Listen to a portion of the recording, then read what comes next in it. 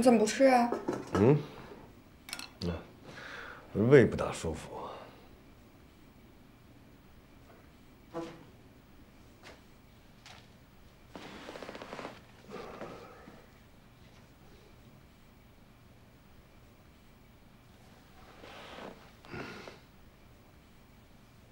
你跟我撒谎，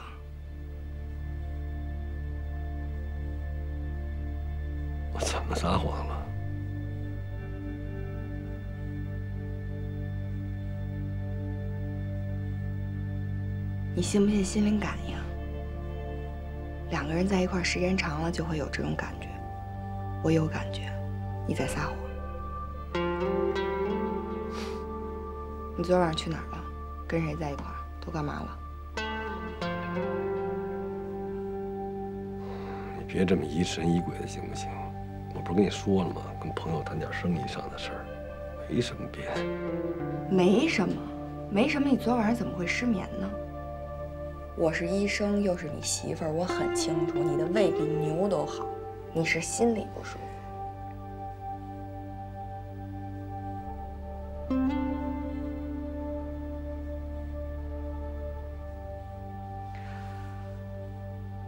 你要是想让我胡思乱想，你就接着跟我撒谎。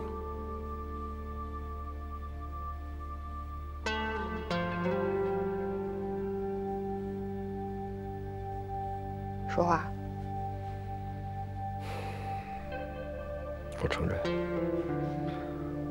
我确实心里有事儿，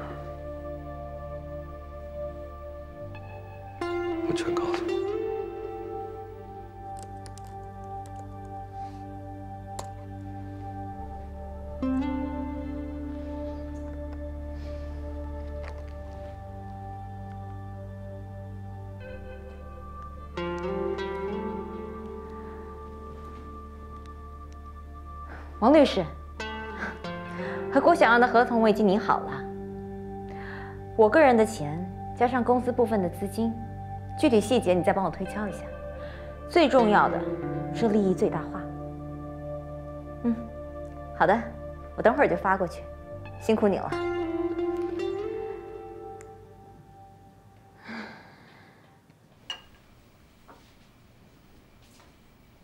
说吧，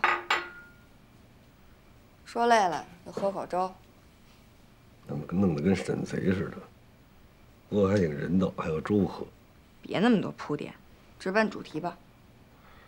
我先跟你道个歉，我确实不应该那么做事儿，至少我应该跟你好好商量，哪怕是打个招呼。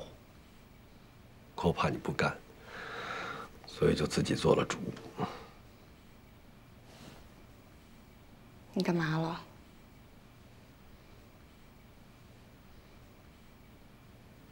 我辞职了。你辞职了？辞了有段日子了。最近我骗你每天去上班，实际上是做新公司的筹备工作。我就感觉你这段时间神神秘秘，我就觉着不对劲了。对不起，是上次说要跟小鹏一块儿开房地产公司吗？一切准备就绪。准备就绪？你不是要跟人合股吗？你哪来那么多钱啊？跟朋友借的。以前我玩股票时候的合作伙伴，也不算是借吧。到时候我会分一部分股份给他。行，看来我劝你半天，算是白劝。你是打算一条道走到黑呀、事到如今，我希望你能支持我。我要是不支持呢？我要是因此跟你离婚呢？我要是不打算跟你这样的男人过了呢？没那么严重。我知道我们在生活方式上面确实有些分歧，但你说咱俩一路走过来这么多年了，我觉得咱俩的感情基础很稳定，没问题。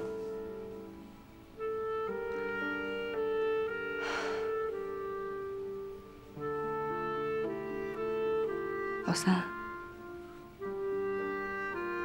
我跟你说句心里话，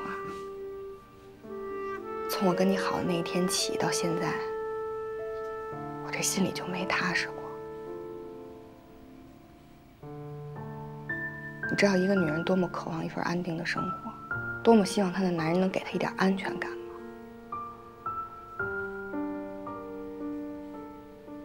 可是你从来没给过我，从来没。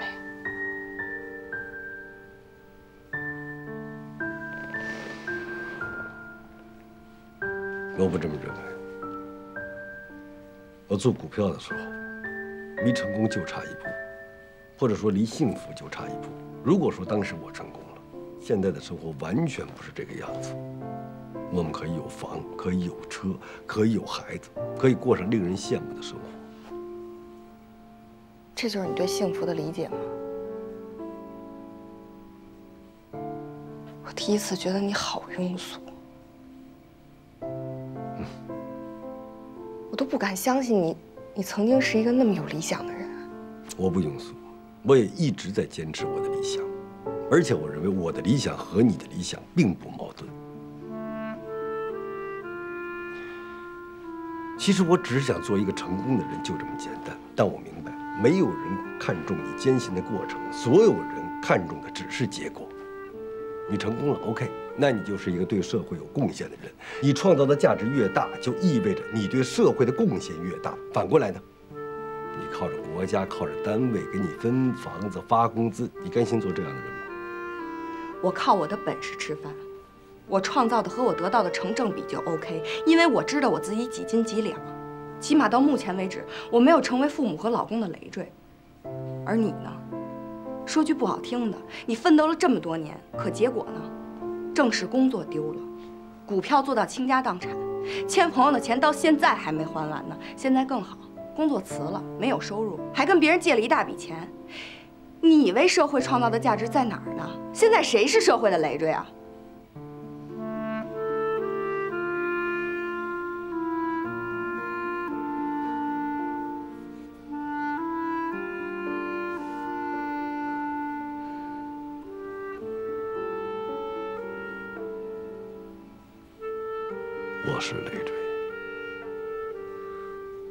是你们的累赘。我怎么突然间感觉像是上大学的时候开辩论会呢？我不想跟你辩了，累得很。但有一点我坚持：所有人看重的不是过程，只是结果。你不也一样吗？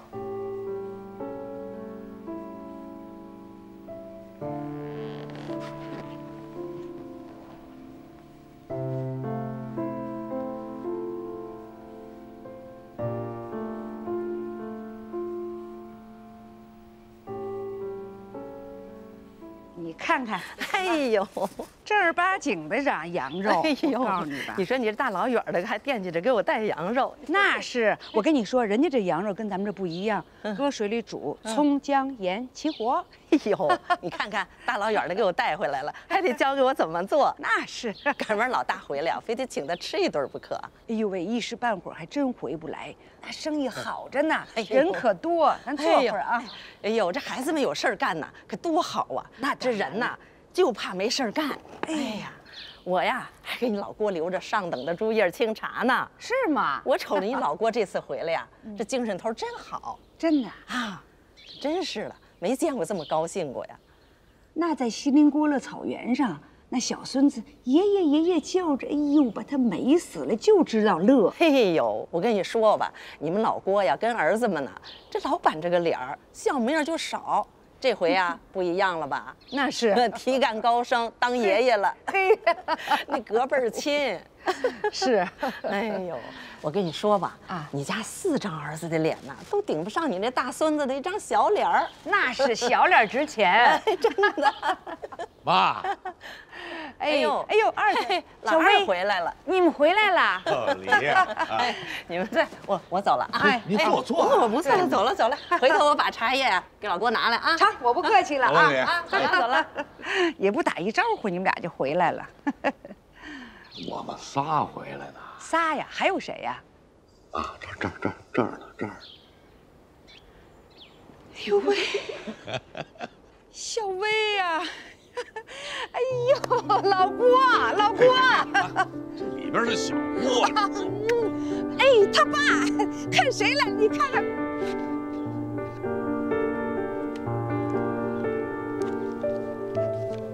回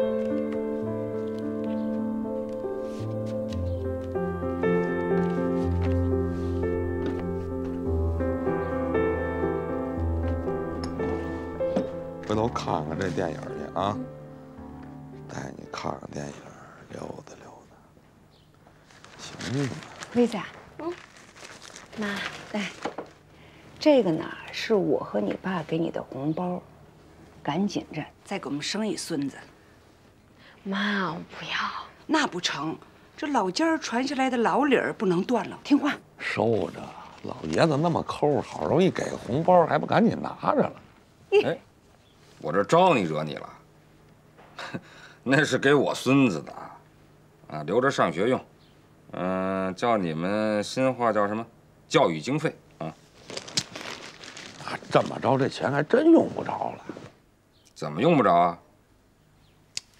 回头我跟家里翻腾翻腾，把我爸以前那些家伙事儿，什么皮带呀、擀面杖啊、木板子，还有那搓衣板都给拿出来，啊，照原样。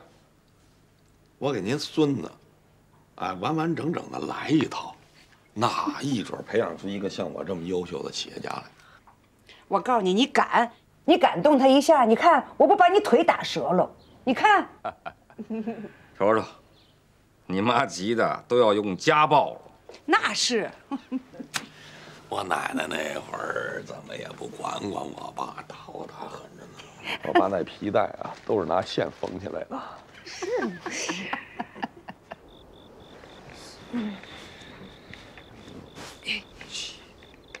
大老晚上怎么还不睡呀、啊？这几点了都？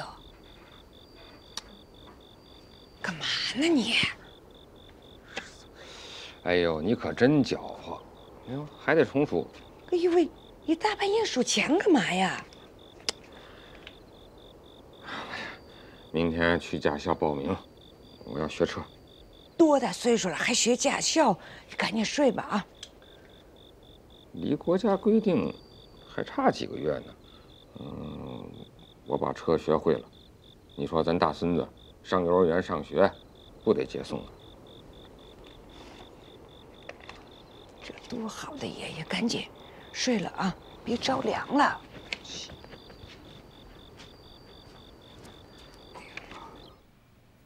王八，干嘛呢？手机招你惹你了啊？你把手机摔坏了还得再买。你这么着急有用吗？能不急吗。我说仨月货就到，这都过去多久了啊？一打电话问就说货在海上呢。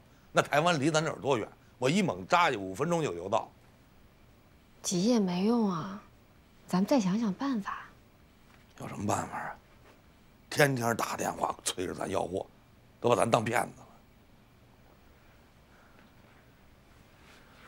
哎这事儿好办。客户要再跟你急，你就把钱退给他们不就行了吗？跟他们说，咱们是实心实意做生意，货现在确实是没到。您要是不放心，就把钱先拿走，等货到了，我们再通知您。行啊，这也是个招儿。行，媳妇儿，关键时候管点用啊。你呀，你遇到点事儿你就着急，你不想办法。不急不急，不能吓着你跟我儿子啊。还行，我媳妇儿有点智商，这下我就放心喽。儿子傻不了我。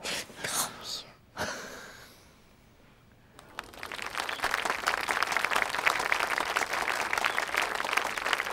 今天是个好日子呀！今天是我们那不勒斯小镇正式动工的日子。啊，我们的期房销售呢，今天也霍总正式启动了。这么大场面，你不上去讲两句去？人多害羞，看你平时挺爱出风头的。表达我们最诚挚的谢意。心里打着鼓呢，感谢你们如履。薄冰啊！相信我们两年之后一定会为未来的那不勒斯小镇的业主提供最一流的住宅、一流的配套设施、一流的小区和服务品质。下面，我宣布正式开工。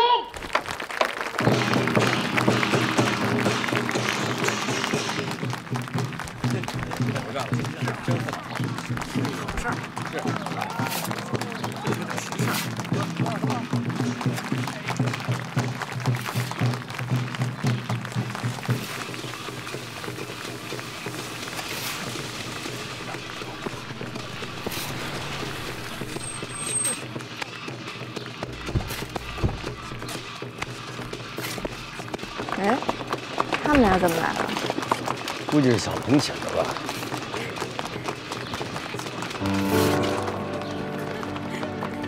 真没想到您回来，这么大的喜事，我当然要来祝贺一下。是啊，郭总这么大手笔，我们来学习学习。对了，这么大的盘子，资金方面怎么样？啊，也是全靠朋友们帮忙。来，请。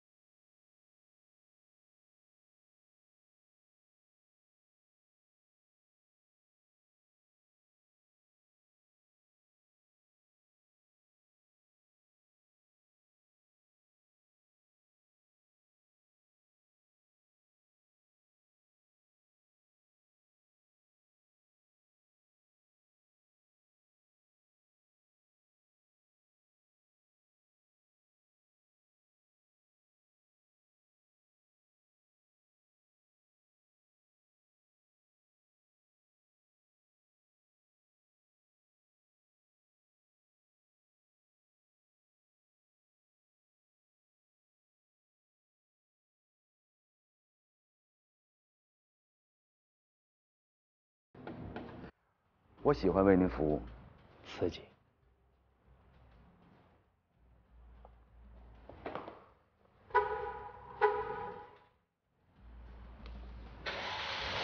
哇，好酷啊！哦，同样刺激。牛奶喝了吗？还没呢。哎，一会儿取体检报告我自己去就行了，你忙你的，不用跟我一块儿去。那哪行？你现在是谁呀？大熊猫。你见过有让大熊猫一个人出门的吗？行。喂，谁堵我电门呢？啊？你们？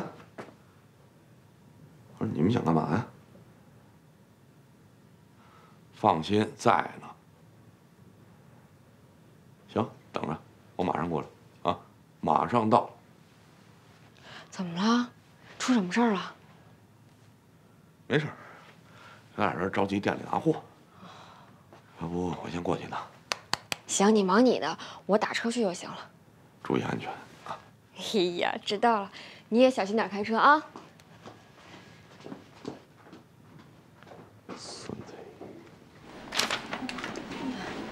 你好，取一下孕检报告，任小飞。嗯，好的，给。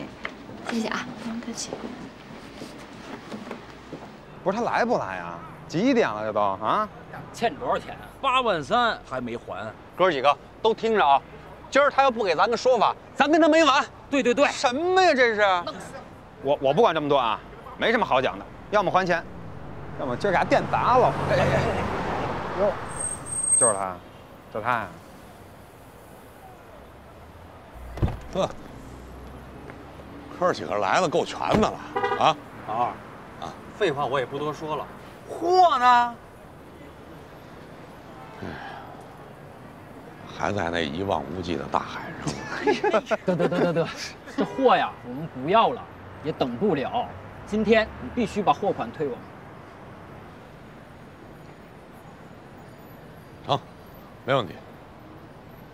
可我这也没带那么多钱啊。这么着去，明儿早上八点，在这儿我带着钱，给大伙儿退。等货到了以后，谁还想要呢，我还按原价给谁，怎么样？够意思吧？不够意思。今儿你要卷钱跑了，我明儿找谁要钱去？是不是啊？就是就是。那怎么办啊？要不一会儿你们跟我回家，回家我给你们拿钱去。我不敢去，你要给我下个套呢。哥们儿钱没要着。命搭上了，可不是？这么聊天就没劲了，横竖都不是。那你们说个办法，我听听。把店门打开，省得我砸啊！省得我砸。对。想干什么呀？替你保存货呀。什么时候你有钱了，我再还给你。看见没有？货车都到了。就为这么点事儿撕破脸，至于吗？至于啊。是你先不要脸，嘿嘿，好好聊天，别骂人啊！赶紧把店打开。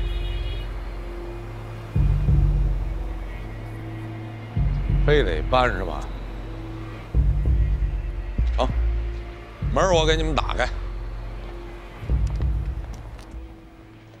心血管没问题，血象也没问题。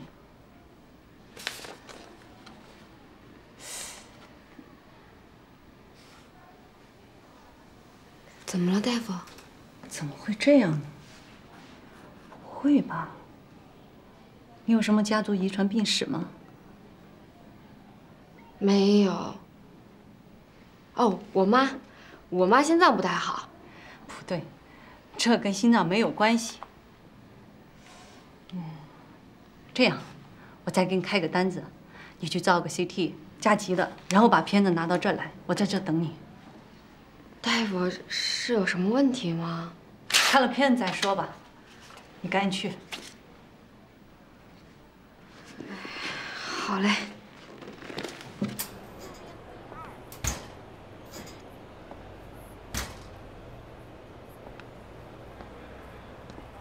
行了，搬东西都轻点啊，搬是搬，咱别毁东西。行了，搬吧。搬搬，哎，先等等啊。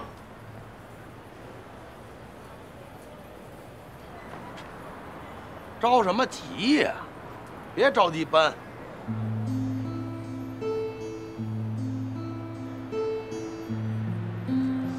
想搬，先从我这过去。跟你有什么关系？闪开了。这事儿跟我还真有关系。这店是我大哥开的。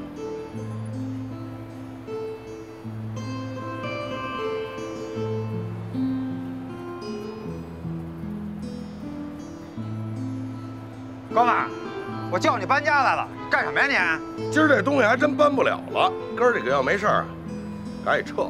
我今儿非搬呢。你可以试试。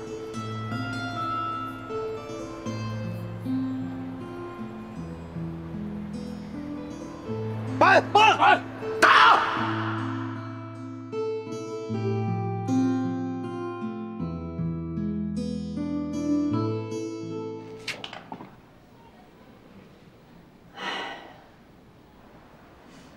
医生，是孩子有什么问题吗？孩子很健康，可是你可能出了点问题。我？我有什么问题啊？你看，在你的右胸下方有一片明显的阴影，这一定是肿瘤。至于是良性的还是恶性的，现在还不好说，需要切片检查。肿瘤啊？不会是乳腺增生吧？我以前得过那个。我也希望是，不过根据我的经验，百分之八十以上是恶性的。也就是说，你可能得了乳腺癌。不过你不用太紧张，乳腺癌在癌症里面是最好治愈的一种。以我们国家现在的医疗技术，通过手术切除，那治愈成功率还是很高的。患者四年内只要不复发，那健康状况那跟正常人一样。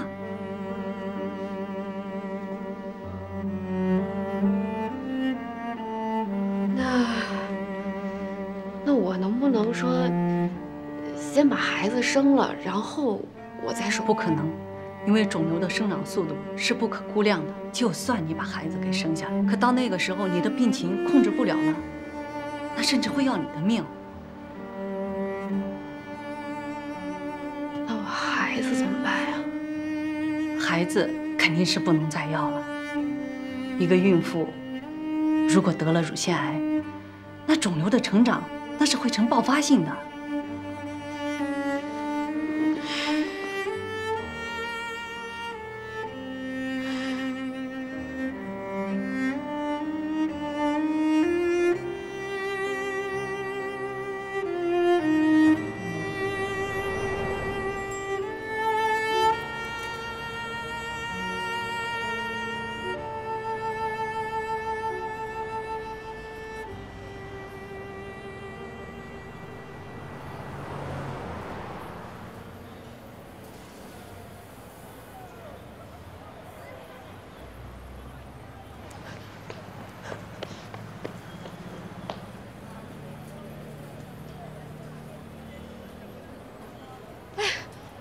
板，我们家店怎么了？发生什么事儿了？刚才在这儿，你们家老二和他哥们儿跟客户打起来了，后来警察来了，把人全带走了，还说你们家进的那批货是走私的，把货也扣押了，店也查抄了。要我说呀，你赶紧找人想想办法吧。怎么会这样啊？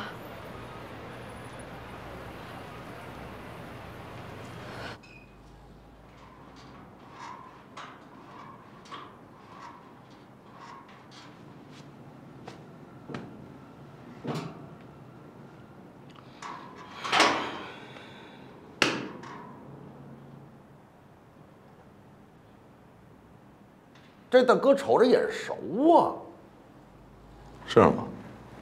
不认识你。我你都不认识，全城有名的助人为乐模范啊！什么年月了啊？多一事不如少一事，省省吧。没办法，我就讨厌别人用枪指着我的头。哟，润发哥啊，狄龙大哥，咱们又见面了。小声点，找事儿。哎，怎么着？合了吧？跟你不熟。要不我给你跪下，再给你磕一个。不是你怎么还这么不要脸呢？没办法，是让哥们做错了。晚了。当初谁说的不再相信你了？猪八戒说的。没错，猪八戒还说了，杀人不过头点地。二姐，你就给兄弟点面子吧。看那德行，德行不好，小名叫美丽，合了吧，二爷？想想，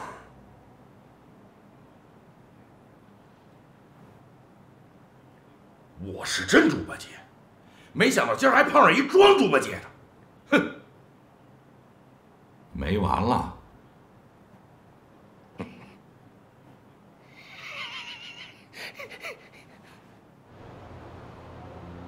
没事儿，瞧你嘟噜个脸子，多大点事儿啊！小 A 子很快就能出去，给人交点罚款，赔点医药费，没事儿。我这稍微麻烦点儿，得等人把情况弄清楚了，我也就回去了啊。那警察也不能平白无故就说你走私啊！人没定性啊，就是怀疑。不过，可能一时半会儿还得待着，配合人调查啊。弄明白我就回去了。那是不是我抓着那个广东老板就行了？对 行了，咱得相信警察叔叔，法网恢恢啊。说说你吧，这检查身体怎么样了？我挺好的，你别操心我了，你照顾好你自己啊。行啊，你跟我儿子好，我这就好着呢啊。来，给大爷乐一个，乐一个，打色儿。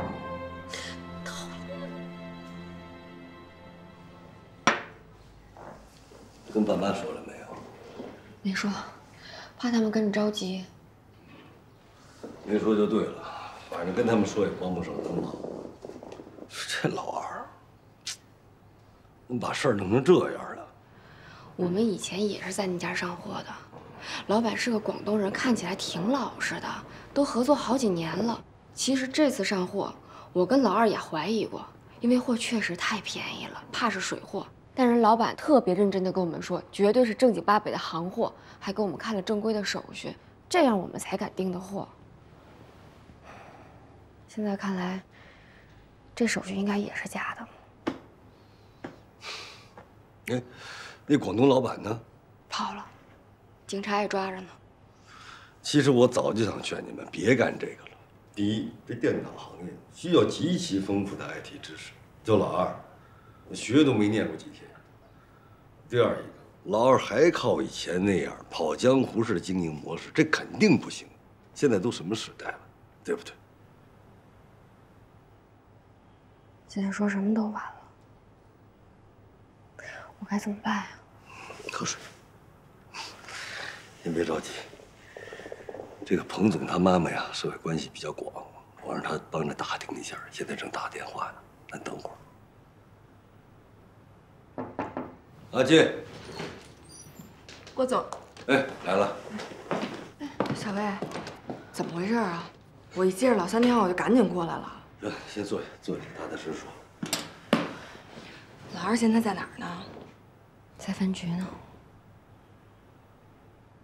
你看你脸色难看的，别紧张，有什么事儿咱大伙儿一块儿想办法。没事儿。哟，嫂子，你怎么来了？你看看，我们这儿到现在你还没来过，是不是不出这么大事你还不来啊？行了，先别废话了，你赶紧的，说正经的。哦，是这样的啊，我妈打听过了，有一个好消息跟一个坏消息，你们先听哪个？你先随便说吧。呃，坏消息是这样的，因为涉及到呢可能是走私，所以要判刑。啊？还要判刑？你听我说完，还有一个好消息呢嘛，就是二哥呢可能属于这个也是受害者，所以只要找到那个骗子，二哥可能就没事儿。但是那批货得退出来，要没收，而且还有一些罚款什么的。那就好，只要人没事儿就得，那货呀没收就没收了，钱咱以后慢慢再挣。是。小鹏，拜托你跟你母亲好好说一下，我们确实是被骗了。放心，别人调查的比我们清楚。那行，那我先走了。我回去呢，把钱数一数，把那个订货的钱给人家还回去。咱们争取是个好态度呗。行，那我陪你一块儿去。哎，不用了，我得先回家理账，然后才能给人退款呢。那你路上慢点，你这还怀着孕呢，有什么事儿你随时给我们打电话吧。啊，放心吧，咱什么大风大浪没见过，没事儿。走了。行。哎，嫂子，你陪陪那不，你参观一下哈。那个我送，我送送。行行行。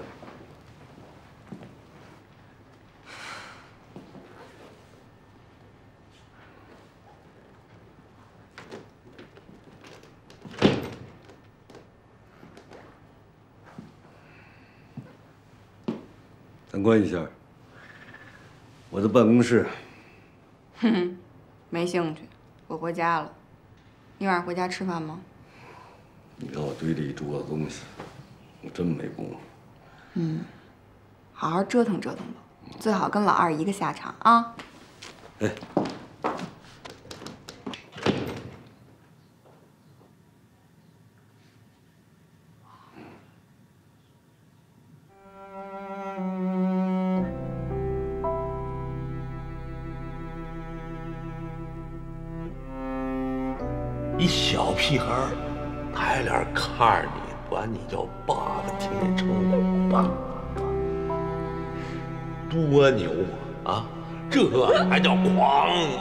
其他都扯淡。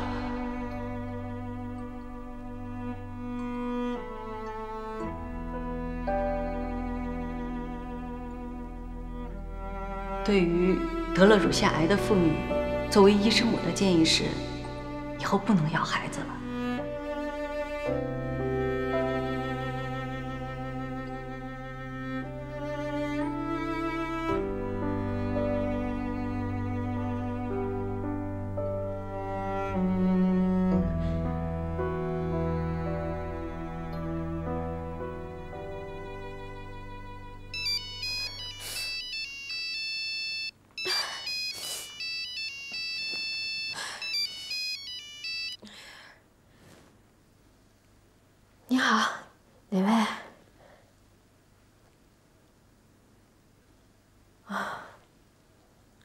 知道了。订货的钱我一分都不会少给你们。放心，老板是进去了，可老板娘还在呢。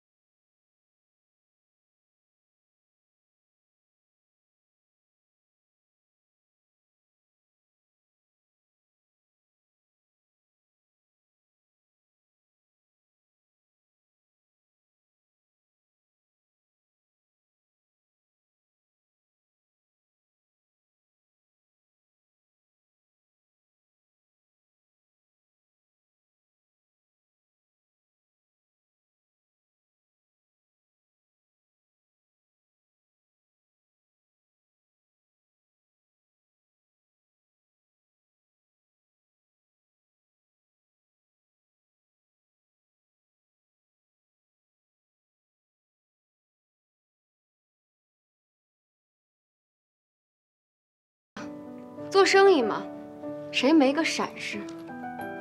可我真没想到，自打我们家老二被带走之后，我前后接了不下一百多个电话，最多的一个人一天给我打十几个，都是要钱，还得马上还。我可是吓坏了，心想着得亏你们订货的钱我一分都没动，能还给你们。我这要是没钱，哥儿几个不得把我给吃了？小魏，你别这么说，咱们平时关系不错啊，可是关系是关系，这买卖还得是买卖啊，这欠债还钱，不天经地义吗？对。可你们欠我钱的时候，我怎么没把你们往死里逼呢？那是你乐意啊，活该，跟我们哥几个有什么关系是吧？你这，我老公前两天打你，没给你打舒服是吧？我惹不起他，我还惹不起你呀、哎呦，你骂谁呢？骂你呢，小娘们儿！我看你这线呀，还得过两天再拆。我去你的！我哎呦，来，小东西，我今儿弄死你！你弄死谁啊？你又来了，不是怎么到哪都有你的事儿啊！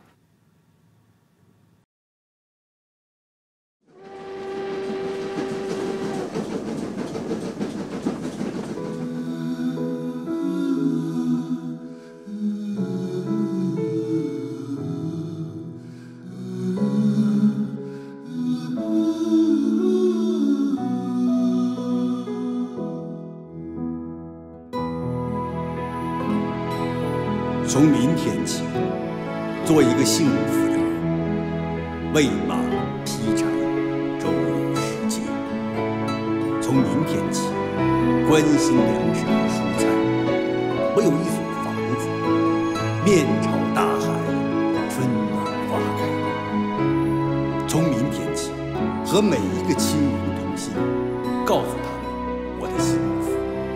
那幸福的闪电告诉我。我将告诉每一个，给每一条河、每一座山取一个温暖的名字。陌生人，我也为你祝福。愿你有一个灿烂的前程，愿你有情人终成眷属，愿你在尘世获得幸福。我只愿面朝大海，春暖